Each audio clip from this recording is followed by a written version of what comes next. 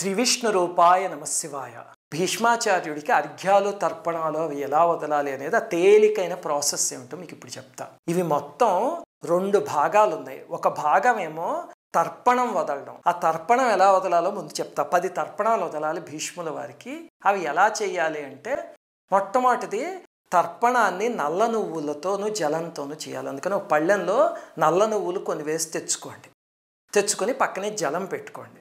పెట్టుకున్నాక మీరు ఏం చేస్తారంటే దక్షిణం వైపుకి తిరిగి కూర్చోండి మధ్యాహ్నం పన్నెండవ ప్రాంతంలో కూర్చోండి. ఎందుకంటే సామాన్యంగా ఇలాంటివన్నీ మధ్యాహ్నం సూర్యుడు నదినెత్తి మీదకి వచ్చినప్పుడు చేస్తాం కదా అందుకని పన్నెండు ఆ ప్రాంతానికి కూర్చోండి. కూర్చుని మొట్టమొదట యజ్ఞోపవీతాన్ని అపసవ్యం చేసుకోండి. అంటే మనం సామాన్యంగా యజ్ఞోపవీతం ఎలా వేసుకుంటామో దానికి ఆపోజిట్ డైరెక్షన్లో వేసుకుంటే అపసవ్యం అంటారు అనమాట అలా అపసవ్యం చేసుకోండి. అంటే మాకు యజ్ఞోపవీతం లేదండి మేము ఏం చేయాలి? అంటే ఒక ఉత్తరయ్యాన్ని తీసుకెళ్ళి అపసవ్యంలాగా మెళ్ళ వేసుకోండి ఉత్తరీయం. అలా వేసుకున్నా సరిపోతుంది. అలాగే ఒకటి గుర్తుపెట్టుకోండి. తల్లి తండ్రి బతికున్న వాళ్ళు చేయొచ్చా అని మనకు ఒక అనుమానం వస్తుంది కదా.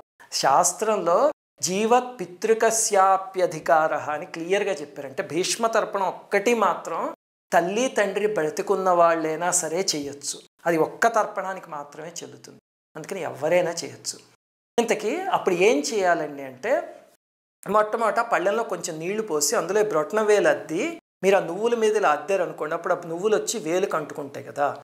అప్పుడు ఈ చేతిని ఇలా తిప్పి ఇక్కడ జలం పోసుకుంటూ తర్పయామి అని వదలాలన్నమాట. అలా వదిలితే దాన్ని ఎప్పుడు పితృతీర్థం అంటారు. మనకి తెలుసు కదా నాలుగు రకాల తీర్థాలు ఉంటాయి. అందులో ఇలా వదిలేదాన్ని పితృతీర్థం అంటారు.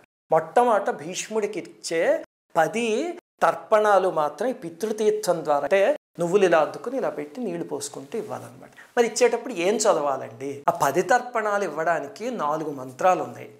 అందులో మొట్టమొదటి మూడు మంత్రాలతో ఒక్కొక్క మంత్రంతో మూడు సార్లు తర్పయామి అని ఇవ్వాలి ఆఖరి మంత్రంతో ఒకసారి ఇవ్వాలి. ఏమిటది అంటే మొట్టమొదటిది వయ్యాఘ్ర పాత్రాయ సాంకృతి ప్రవరాయ గంగాపుత్ర వర్మాణం తర్పయామి తర్పయామి తర్పయామి. అలా చెప్పి అప్పుడు ఆ తర్పయామి అన్నప్పుడు నీళ్ళు పోసి ఇవ్వాలను ఏమిటి చెప్తున్నారు ఇక్కడ అంటే ఇంతకీ?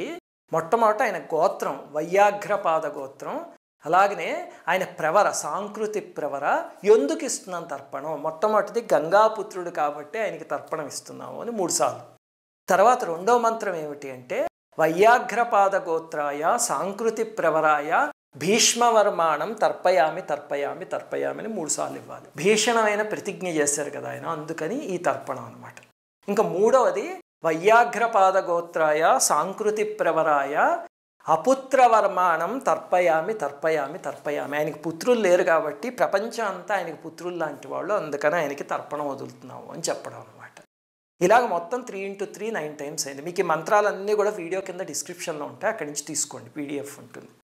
ఆ తర్వాత ఒక శ్లోకం చదువుతూ సేమ్ ఇలాగే తిలతర్పణం ఇవ్వాలి. మళ్ళీ నువ్వులు అద్దుకోండి వేలికి అద్దుకుని ఇలా పెట్టి అప్పుడు ఈ శ్లోకం చదువుతూ భీష్మ శాంతనవో వీర సత్యవాది జితేంద్రియ అభిరద్భిరవాప్నోతు పుత్ర పాత్రోచితాం క్రియాం అని చెప్పి అప్పుడు ఒకసారి తర్పణం వదలండి వదిలితే దీంతో మొత్తం పది తర్పణాలు పూర్తయినట్టే. ఇవి ఆ యజ్ఞోపవీతాన్ని అలా పెట్టుకుని నువ్వులతో చేయాలి చెప్పాను కదా. ఇప్పుడు ఒకసారి చేతులు కడిగేసుకుని ఈసారి అర్ఘ్యాన్ని ఇద్దాం మనం. ఈ చేతులు కడుక్కున్నాక ఒకసారి ఆచమనం చేయండి. ఎందుకంటే ఏ క్రియకైనా ఒక క్రియ నుంచి ఒక క్రియకి షిఫ్ట్ అవుతుంటే ఒకసారి ఆచమనం చేయాలి. ఆచమనం చేసి ఆచమనం తెలుసు కదా కేశవాయ స్వాహ నారాయణాయ స్వాహ మాధవాయ స్వాహ. అది అయిపోయాక ఇప్పుడు జలంతో అర్ఘ్యం ఇవ్వాలి. అది ఎలా చేయాలి ఏంటంటే తూర్పు ముఖంగా తిరిగి కూర్చుని యజ్ఞోపవీతాన్ని సవ్యం చేసుకోండి. ఇందాక అపసవ్యంతో చేస్తారు కదా అది నువ్వులతో చేస్తారు. ఆ క్రియ వేరు ఇది అర్ఘ్యం కాబట్టి అపసవ్యంలో ఉంటే ఒకవేళ సవ్యం చేసుకోండి. అంటే యజ్ఞోపవీతాన్ని మామూలుగా ఎలా వేసుకుంటారో అలా వేసుకోండి. తర్వాత జలాన్ని ఒక పాత్రలో పోసి అది ఇలా చేత్తో తీసుకోండి. సూర్యభగవానుడికి అర్ఘ్యం ఇస్తాం మనం. తీసుకుని ఇలాగ ఈ వేళ్ళ మీదుగా వదలండి.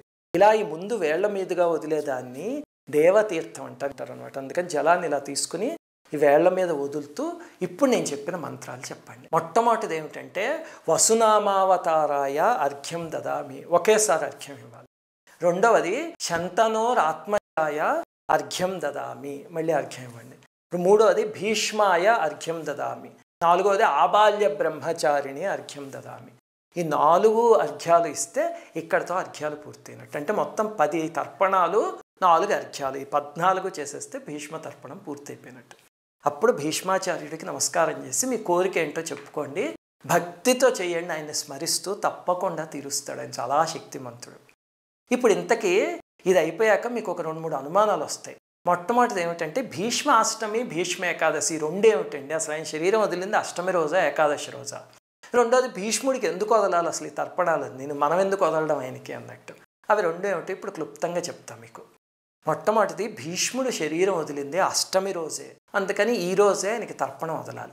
మరి భీష్మ ఏకాదశి ఏమిటి అంటే భీష్మాచార్యుడు శరీరం విడిచిపెట్టాక వచ్చిన ఏకాదశి రోజు కృష్ణ పరమాత్మ మిగిలిన కౌరవులు పాండవులు అందరినీ తీసుకొచ్చి అక్కడికి భీష్ముడికి అంజలి ఘటింపజేసి ఈరోజు ఏకాదశిని నా పేరుతో పిలవద్దు మహాభక్తుడైన భీష్ముడి పేరుతో పిలవండి అని కృష్ణ పరమాత్మ చెప్పారు. అందుకని దానికి భీష్మ ఏకాదశి అని పేరు వచ్చింది అందుకని భీష్మాష్టమి రోజు అర్ఘ్యం ఇవ్వండి ఏకాదశి రోజు చక్కగా కూర్చుని విష్ణు సహస్రనామం పారాయించి ఇంకా రెండోది భీష్ముడికి ఎందుకు వదలాలండి? తర్పణం ధర్మరాజుకో అర్జునుడికో భీముడికో లేకపోతే కృష్ణ పరమాత్మ ఉన్నాడు అంతటా ఆయనకు వదలకుండా భీష్ముడికి ఎందుకు వదలాలి? అంటే దాని వెనకాల ఒక చిన్న కారణం ఉంది.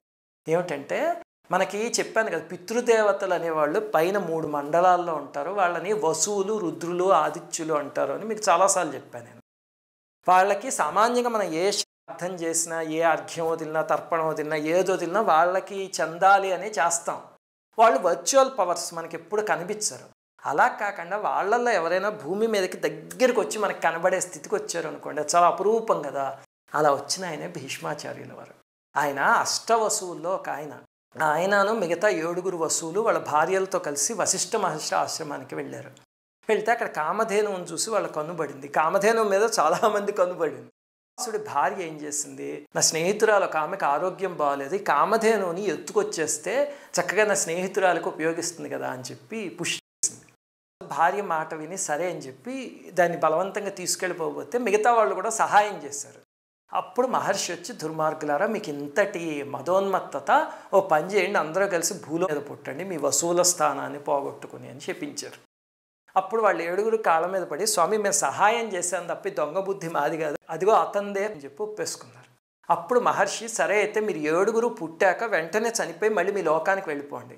ఇతను మాత్రం తప్పు చేశాడు కాబట్టి చాలా సంవత్సరాలు జీవించి ఏ స్త్రీ పోద్బలంతో అయితే చేశాడో అలాంటి స్త్రీ జాతి వల్లే నానా బాధలు పడి చివరికి కష్టపడి ప్రాణాలను వదిలేస్తాడు అని చెప్పి శపించారు. ఆ తర్వాత భీష్ముడై పుట్టి పాపం స్త్రీల వల్ల ఎంత ఇబ్బంది పడ్డాడు? అసలు అంబ వల్ల ఆయన జీవితం మొత్తం నాశనం అయిపోయింది కదా.